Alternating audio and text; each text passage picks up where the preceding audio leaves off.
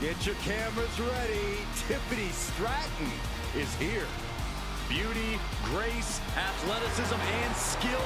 Tiffy has it all.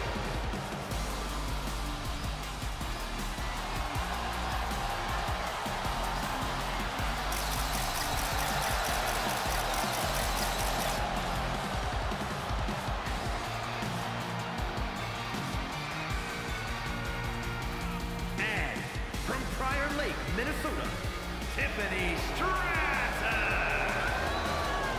Stratton has an amazing gymnastics background. She even competed on the U.S. national team.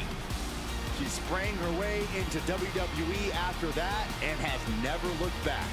We've learned very quickly that it's always Tiffy time in WWE.